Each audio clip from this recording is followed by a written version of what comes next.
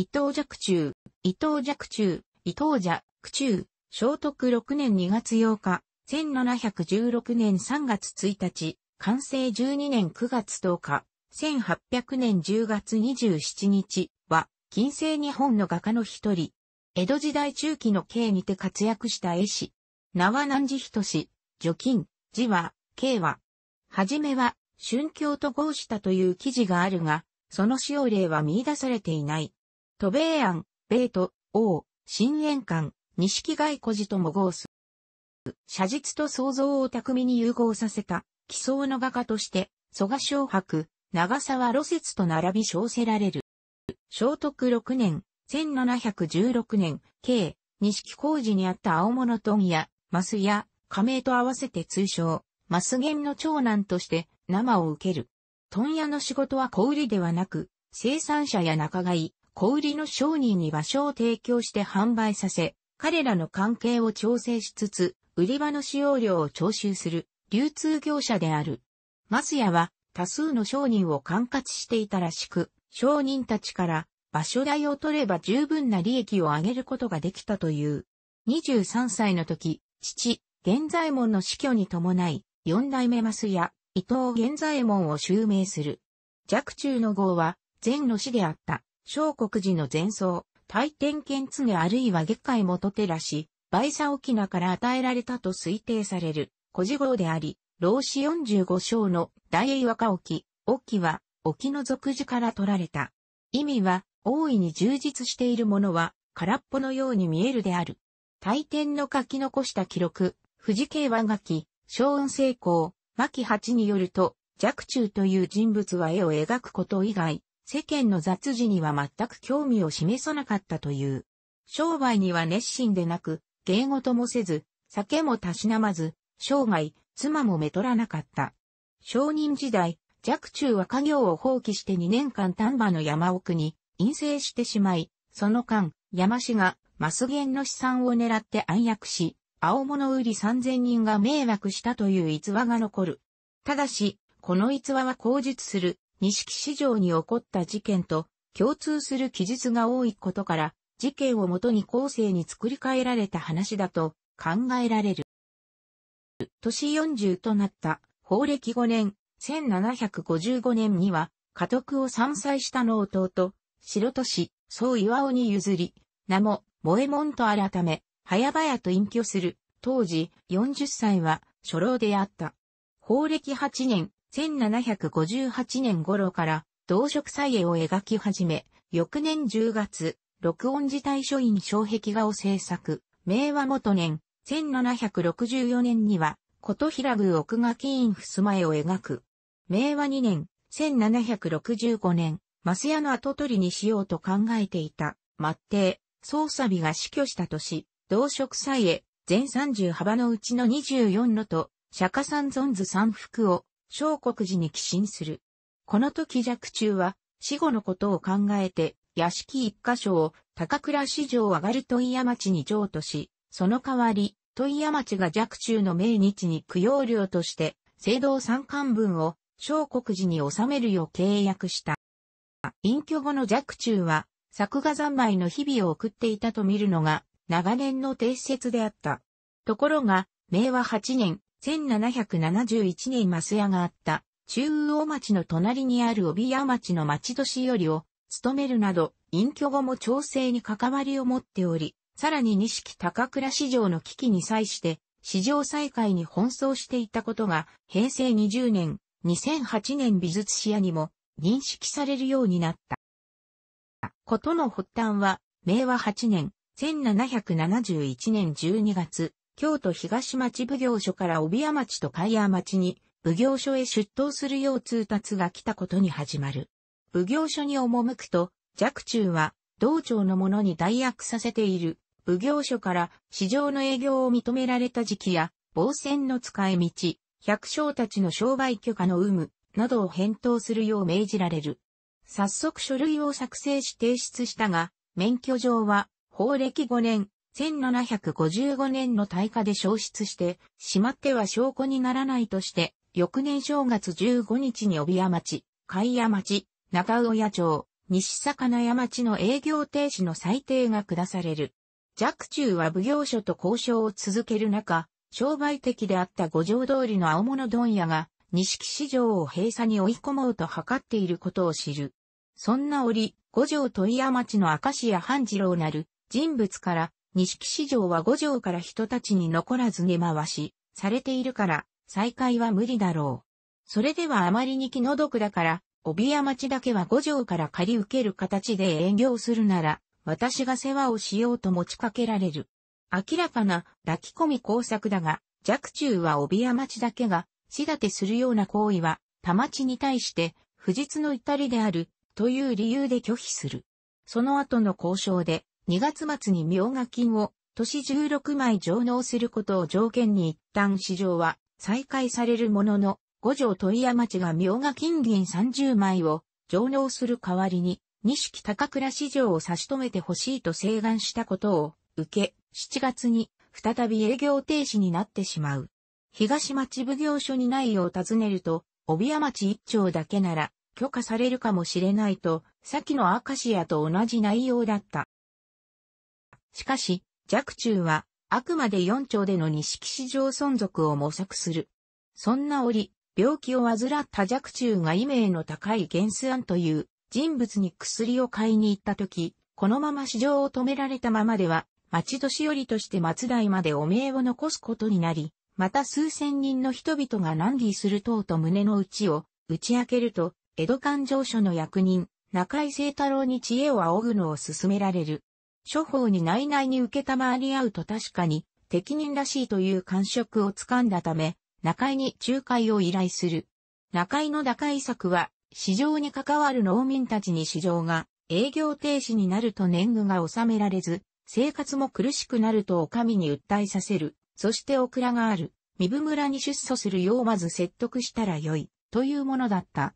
若冲は、その助言通りに、身分村の庄屋に趣旨を話すと、庄屋も五条では、商売が難しいからと賛成する一方、二部村は百国ほどの町村だからもっと大きな村からも出祖すれば効果があるのではないか、と助言した。中井もこの意見に賛成したため、若冲はさらに中道寺や西九条村にも掛け合って、市場存続の嘆願運動を起こさせた。しかし事態は好転せず、同8月若冲は町年寄りを辞任する。これは、いざという時は農民に天領の住人が含まれているのを口実に、幕府表情書への出願も覚悟し、朝全体まで連座しないように、平の町人になって活動するためだった。その後も、周辺の村々に参加を呼びかけ、京都町奉行所や近隣の天領を支配する小堀一馬役所らと交渉を重ねる。途中四町の中でも、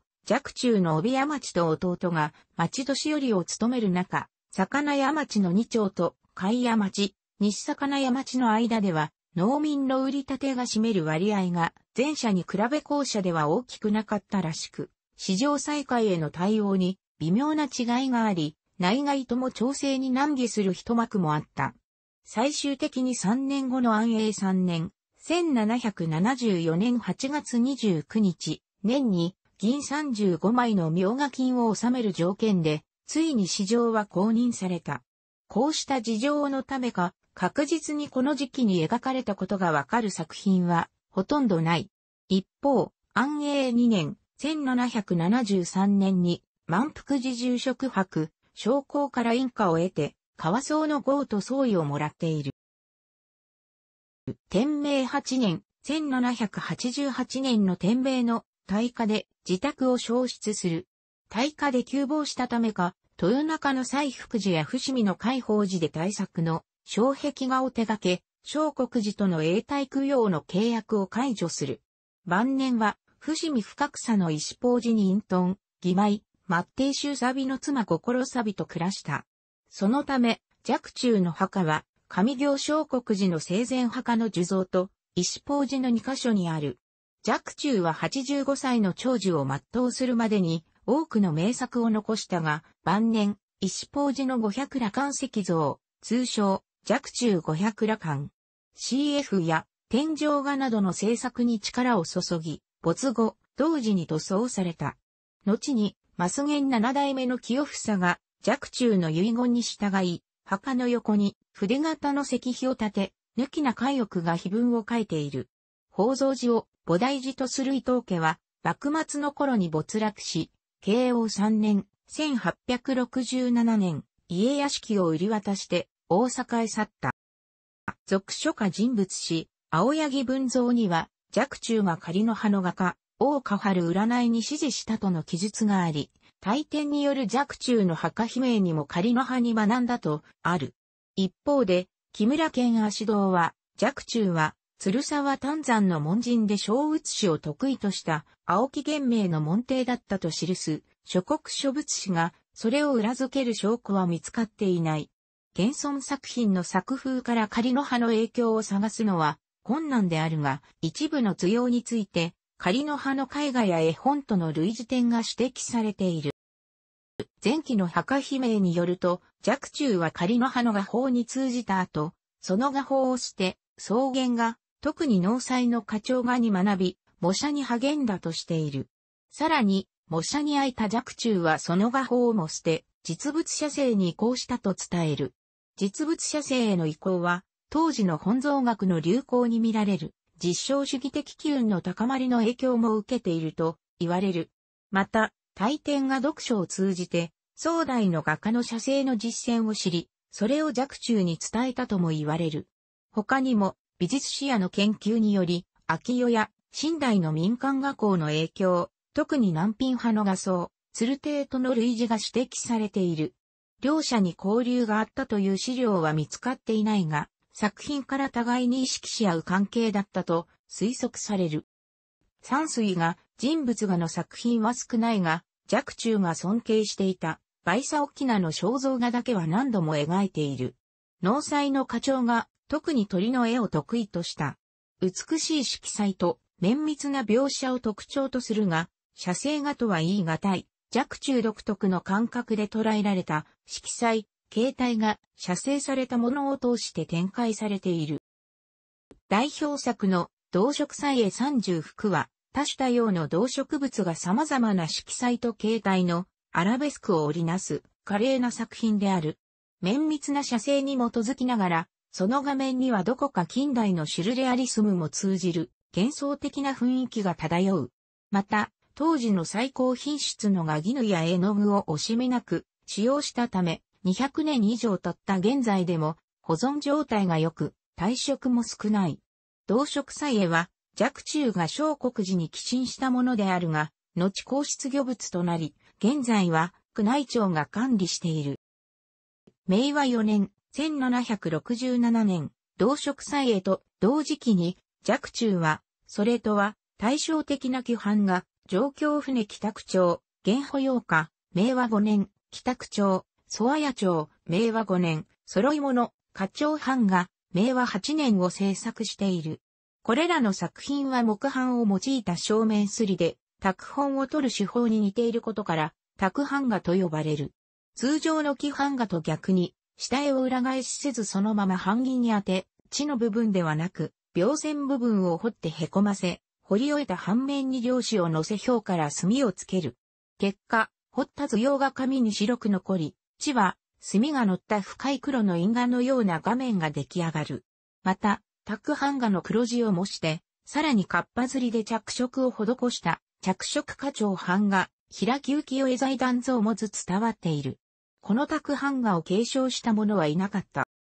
生前の若冲は、平安人物史の上位に掲載されるほどの人気と知名度を持っていたが、明治以降一般には忘れられがちな時期もあった。しかし、大正15年、昭和元年、1926年、秋山光夫によって本格的な研究が着手され、昭和45年、1970年に辻信夫の奇想の系譜が出版されて、以来注目を浴びるようになった。1990年代後半以降その超絶した技巧や奇抜な構成などが再評価され、特にアメリカ人収集家、ジョー・プライスのコレクションにより飛躍的にその知名度と人気を高めている。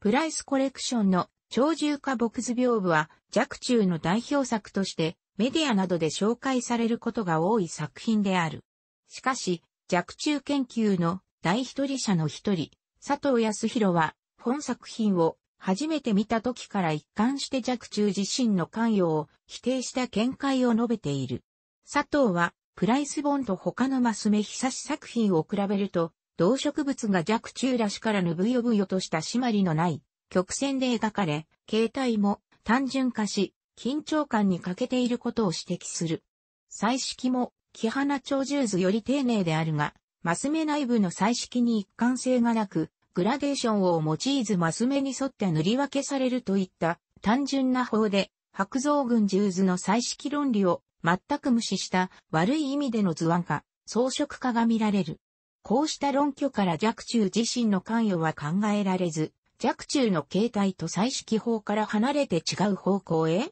暴走した質的に劣る作品で、幕末頃に作られた作者不明の模倣作、弱中の楽観や印象はないので贋作ではないとしている。